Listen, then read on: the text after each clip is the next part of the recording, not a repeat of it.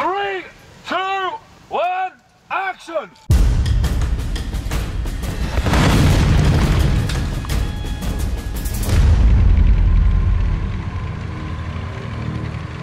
Fury takes place in late war Germany, 1945. This is a very, very narrow, honest look at this one tank unit's life.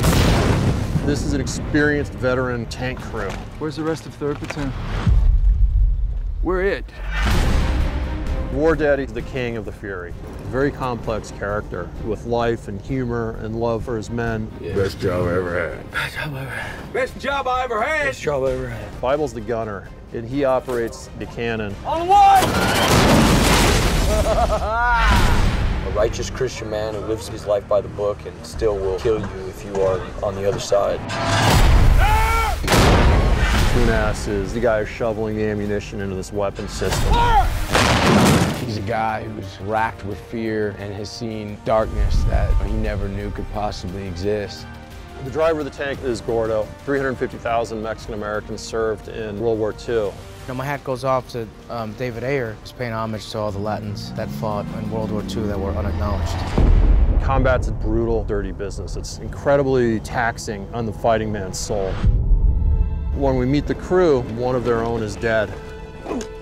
Then we get the replacement. First Sergeant Collier. I'm your new assistant driver. What is your name? Norman? He's so young and so innocent. He's got this incredibly rough introduction to the war.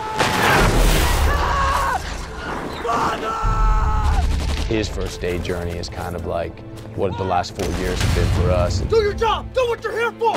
If you're no goddamn good to me unless you can kill Germans. Wardaddy must break him of his innocence and also learn to be an effective soldier. Put a big fat hole in his back. I Can't do it! It's a story of us five guys trying to survive and trying to keep each other alive. They're exhausted, they're tired.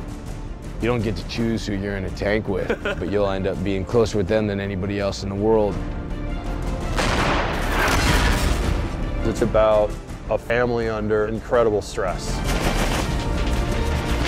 Every day they go towards the fight, and they're scared.